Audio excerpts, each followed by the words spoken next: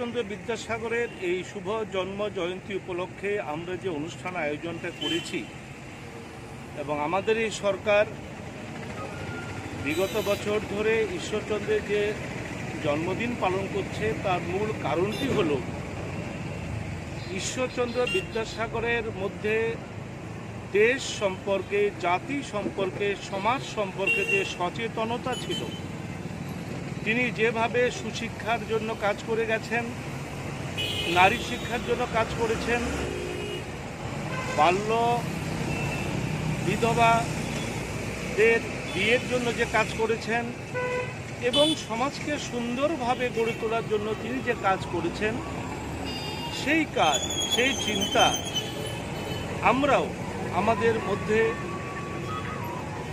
লালন করে এই সমাজকে, এই দেশকে, রাজ্যকে আমরা সুন্দর করে গড়ে তুলতে চাই। এই জন্য এই সরকার বিভিন্ন মনীষীর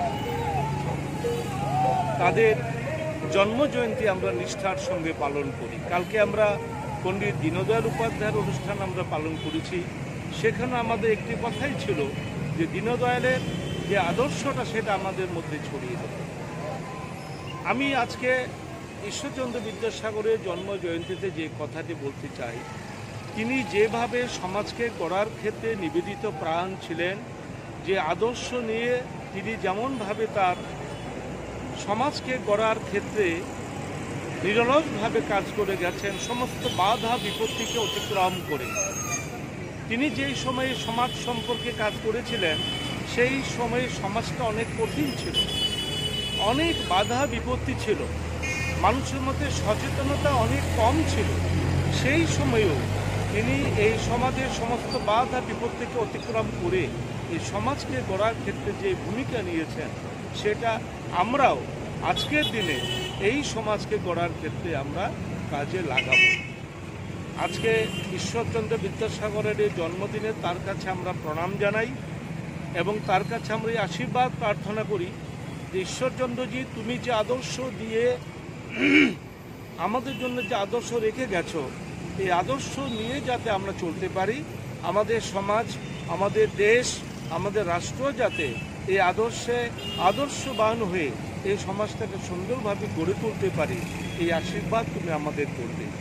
আমি এ রাজ্যবাসীর কাছে, সকলের কাছে আহ্বানটি রাখব যে আমরা অন্য কোনো বিষয়ে আমরা ভাবনা না করে এই দেশকে ভালোবেসে দেশ ও মাতৃকাকে ভালোবেসে, দেশের মানুষকে ভালোবেসে, এই সমাজকে ভালোবেসে, সমাজে উন্নতি কল্পে আমাদের সরকার, আমাদের কেন্দ্রীয় সরকার যেইভাবে এই সমাজকে গড়ার ক্ষেত্রে তারা নিবেদিত প্রাণ হয়ে কাজ করেছেন, করছেন।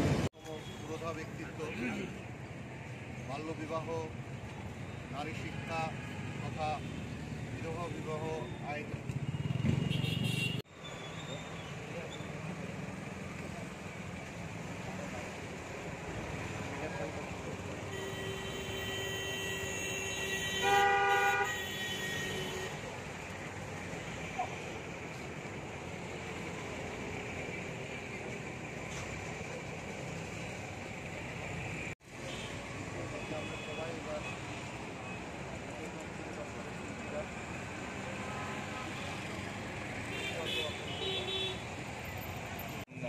যাবো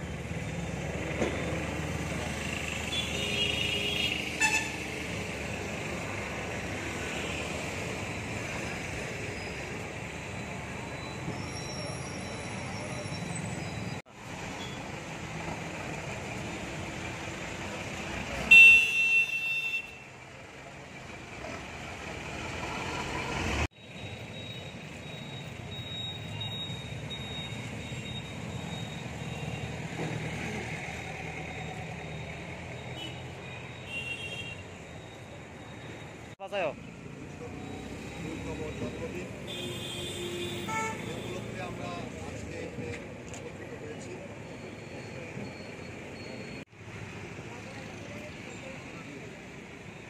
দিদি আপনি এই সাইডে যান গা।